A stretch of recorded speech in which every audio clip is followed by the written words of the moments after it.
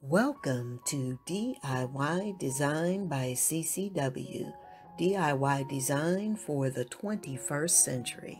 My name is Candy and I'm the host of this channel. Now let's get into this video. Hello everyone, welcome to DIY Design by CCW. Thank you so much for tuning in and I hope you are having a fantastic day. Well, today, everyone, I've got several DIYs planned for you. Um, I picked up several uh, of these glass jars at my local thrift shop. I mean, I bought pretty much everything that they had, all sorts of shapes, all sorts of styles, and uh, I'm going to make some of these over for you today. I've got some uh, various types of bling and bling wrap, and I've got a brand new paint color for us today. This one is uh, copper, number 5538, and again made by Treasure Gold. And I'll make sure that I leave that information down in my description box. And we're also going to do another mirror, a rather large mirror this time, and uh, we're going to see how it turns out. All right, everybody, so now let's jump right into the DIY. Now, if you're new here, this will be new to you. If you're one of my subscribers, first of all, thank you so much for your support. But those of you that follow the channel, you already know that I always start by painting my glass. Uh, excuse me, my glass pieces. So, again, uh, if you do follow the channel, then you know that during this process, what I do is paint each of my items with uh, three coats of paint and uh, basically trying to make sure that I keep my brush, brush strokes as even as possible and I let the uh, coats dry completely in between, usually several hours, and then the final coat, I usually let that dry overnight. So that's exactly what I'm going to do here. I'm going to coat all three of these pieces. Guys, I can tell you right now that I am already loving this color. It is so vibrant. You know, you really can't even see it on camera. It just does not do it justice. So I'm going to go ahead and do this painting and uh, I'll come back, guys, let you watch me do this and I'll come back when we get to the next part of the DIY.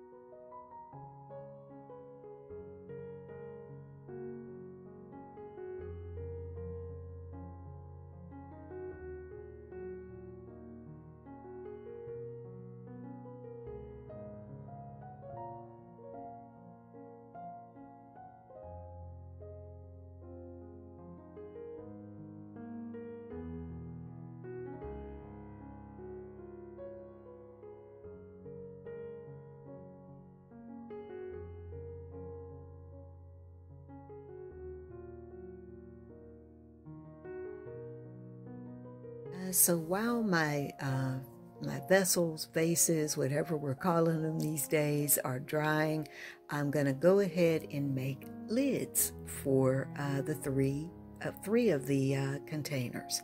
So you may, if you've seen me do this before, this won't be brand new.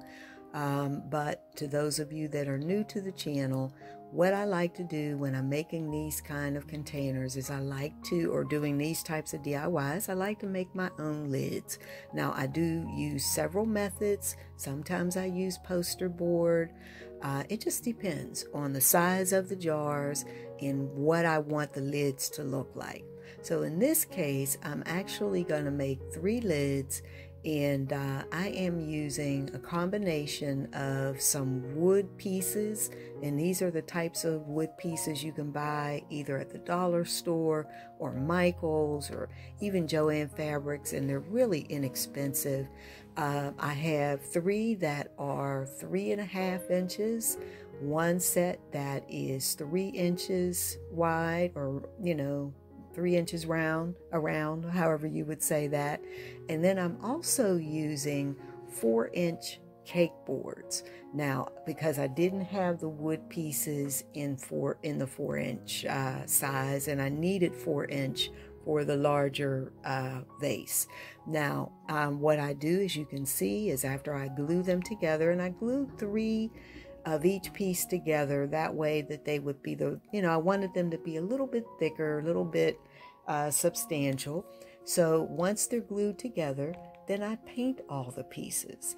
Um, now once the paint is dry or paint all of the lids rather uh, once they're dry what i do is use glitter paper and i'll make sure to link the brand and the name down in my description box on one side of the lid. That way, when you lift that lid up and you look inside the container, you see something nice. And uh, since the opposite side is going to be covered for the most part with a mirror, I only use the glitter paper on one side.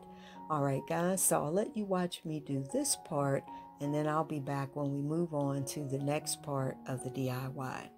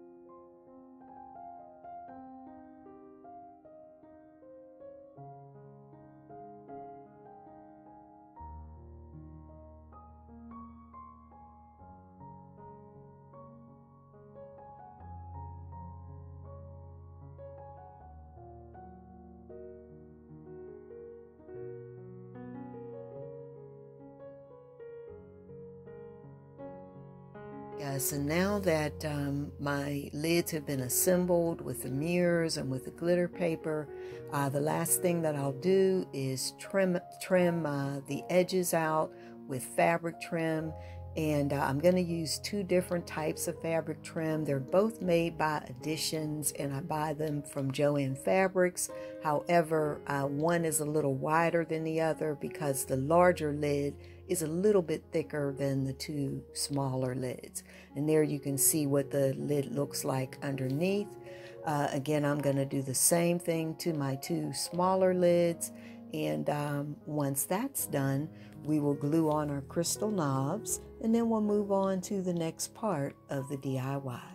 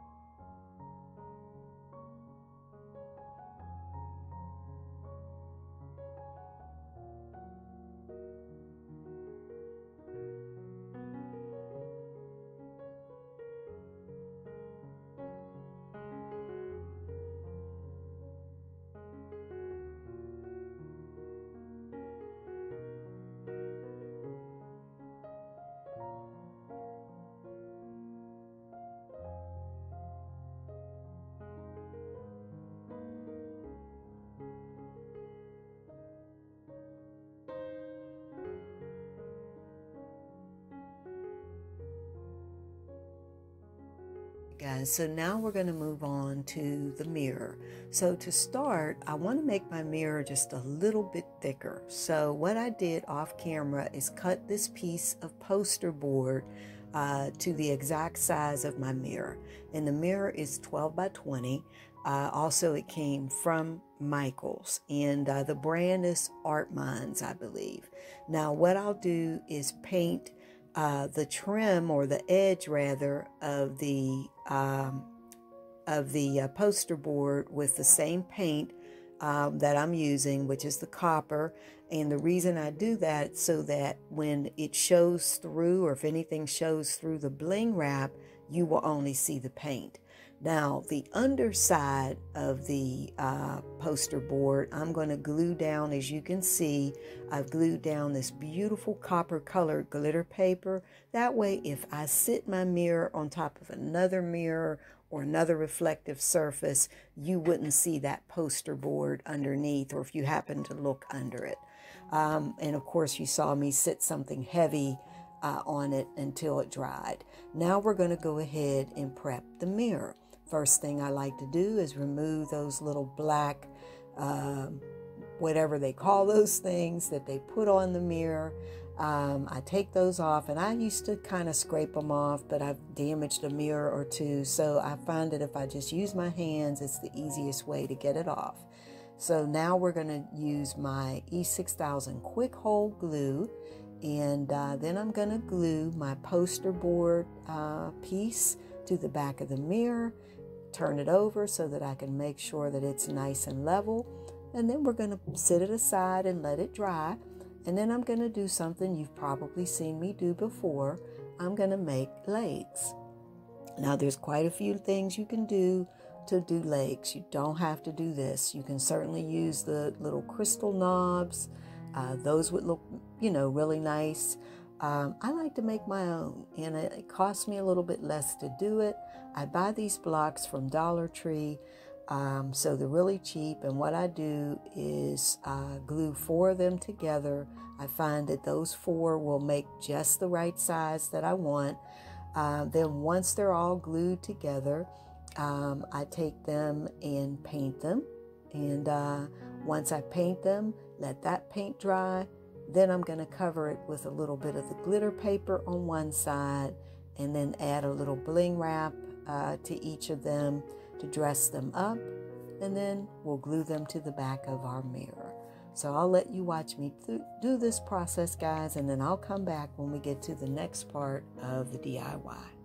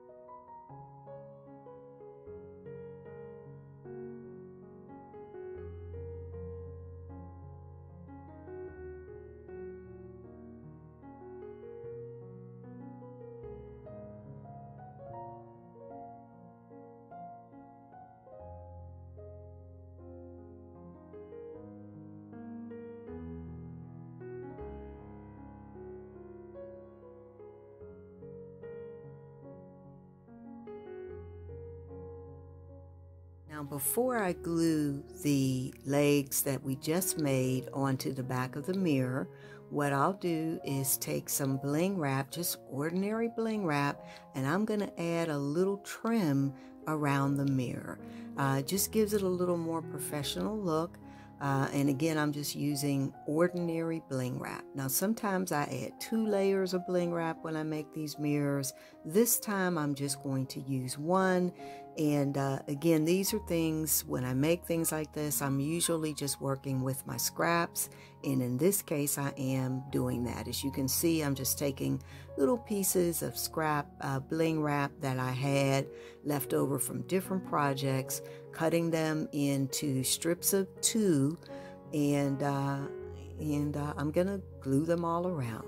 And then once this is done, I'll go ahead and glue my legs on the back and then I'll set it aside. And uh, here that's what I'm doing now. I'm to glue the legs on the back and then I'll set it aside, let the glue dry, and uh, then we'll come back to the mirror a little bit later. All right, guys, so I'll be back uh, when we start on the next part of the DIY.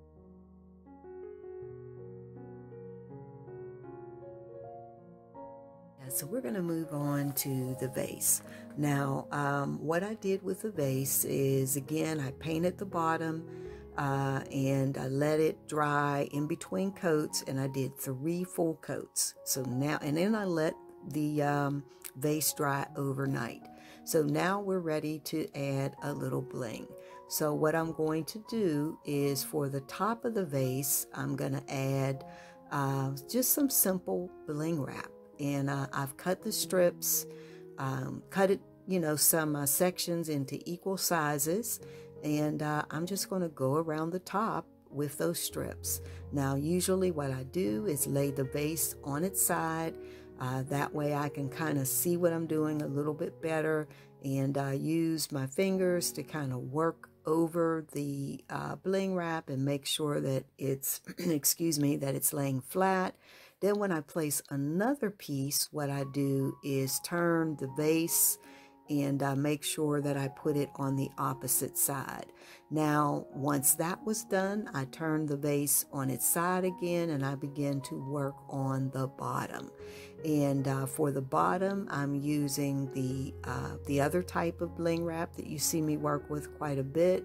Again, I'll have links down in my description box where you can order uh, if you like this bling wrap. I usually purchase mine from eFavorMart uh, just because I like the quality. But of course, you know, they sell this bling wrap in several places, and you can also find it in my Amazon store.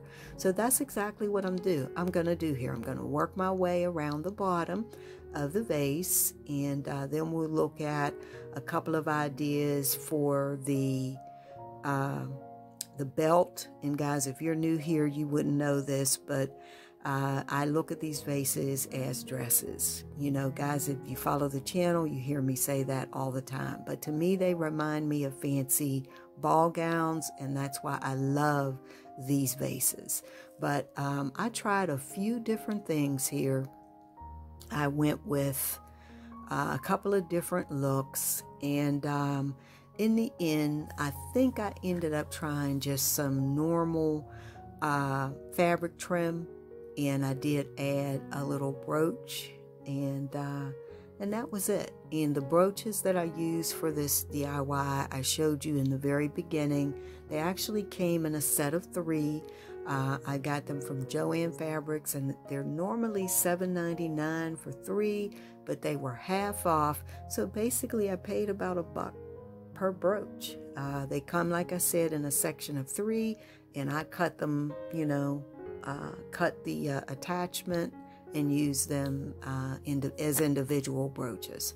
So anyway, I'll let you go ahead and watch me do this part. Then I'll be back when we move on to the next part of the DIY.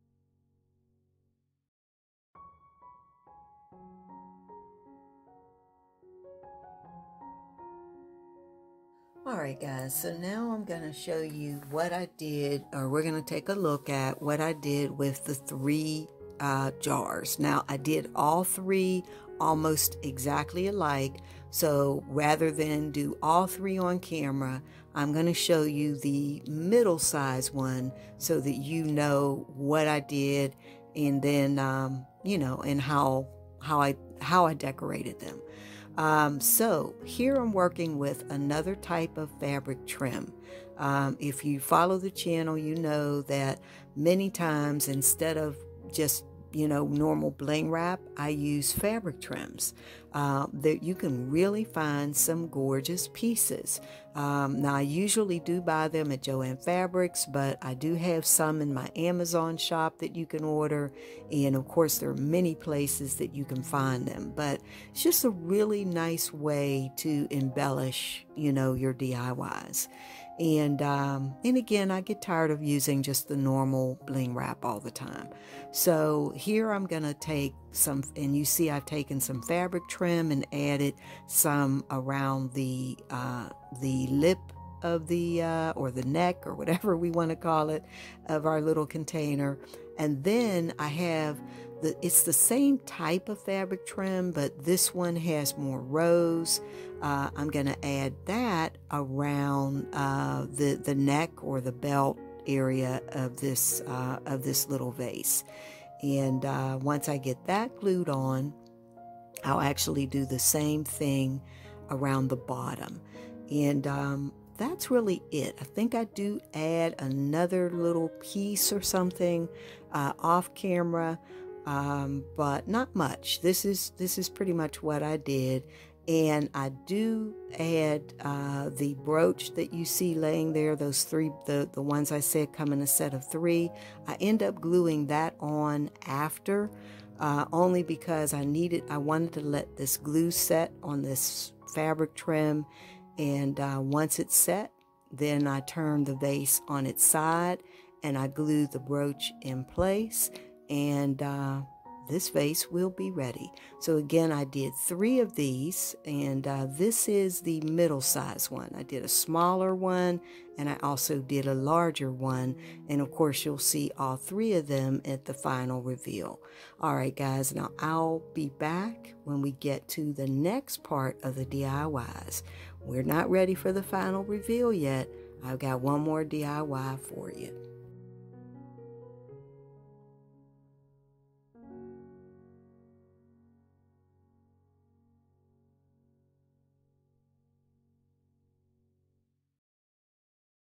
So now that we've let the glue dry on the trim and the legs, I'm going to go back here, or we're going to go back here and finish uh, the mirror.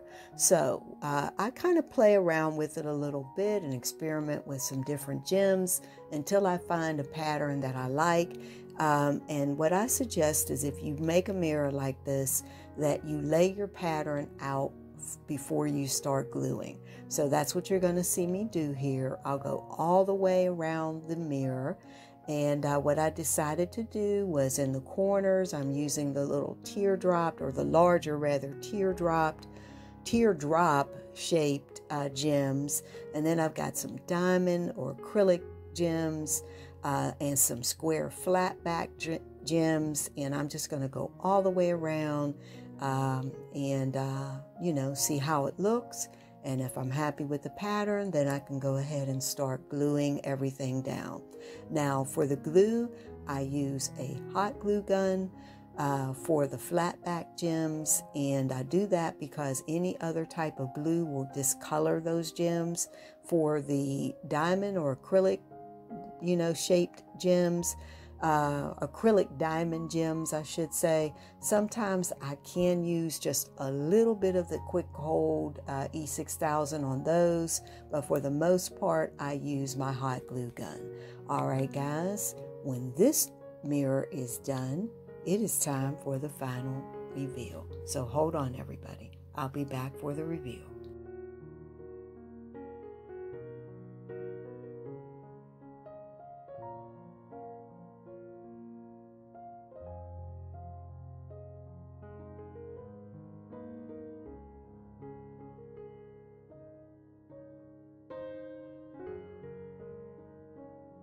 This is how the copper vanity set turned out. You know what? I like it. I hope you do too. Uh, that's a close up of the vase. That's a close up of the middle sized jar uh, or container. There's a close up of the larger one.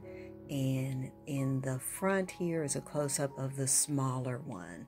All right, now let's take a closer look at, at everything. Oh, guys, these are so pretty. I really like them. I hope you do too.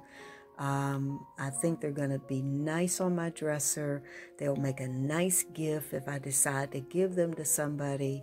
Uh, there you can see the mirror, but we're going to take another, you know, a little bit closer look at the mirror. Uh, there's a close up of the vase. If you remember when I did the vase, um, when we were on camera, I wasn't sure what kind of wrap I wanted to put.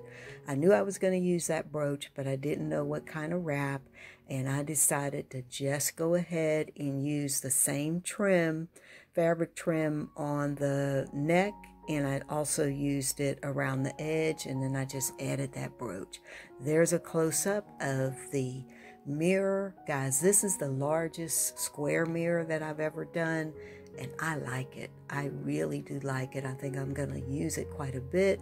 It's the perfect size for your vanity. You can fit a few more things on there. Um, again, these little these jars 25 cents for each of these pieces. And this is what we I was able to create from them. Um, again these containers on the side here uh, that's a, obviously a different color. That's the fire opal vanity set that I did for with the little square uh, containers.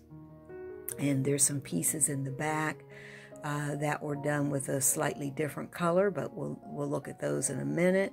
And as you can see, each of the lids is slightly different.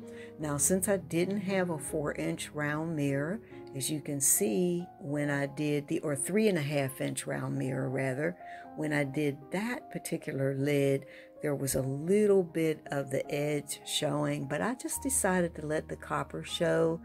Um, and I, I like it, you know, on the bottom, if you if I were to lift the lid, which I forgot to do, sorry, there's glitter paper underneath and it's a copper uh, glitter paper. But in, again, I really love these. I love the brooches. I love how everything turned out. Let me know what you think. Again, I'll list all the materials down in my description box. Now, here in the back, uh, this these pieces in the back, they were done with a slightly different color. They're rose gold. It looks close to the copper, but it's not as vibrant. It's it um, you can really tell when you see it off camera. But uh, those little containers, I think in that vase I did at the same time. And then that mirror comes from another uh, DIY. So again, guys, that's how everything turned out. I hope you enjoyed it. Again, that little container there also comes from the Fire Opal set. Um, I, this is how everything turned out. I really hope you like it. Um, this DIY took me a little more time than some. I did this over a couple of days, but I'm really happy to share it with you. I hope you like it. If you're not a member of the channel, I hope you'll subscribe today. Tap the bell at least two times because I would love to have you be a member of the family. Also, if you get time, go over and visit, if you will, my other channel which is Tablescapes by Candy. And on that channel, I share tablescapes with you using pretty much most of the DIYs that I create on this channel. All right, everyone. Again, thank you so much for watching. And uh, like I say at the end of every video, I cannot wait to see you, each and every one of you, in the next video. All right, everyone. Thank you for watching. Have a wonderful day or a wonderful night.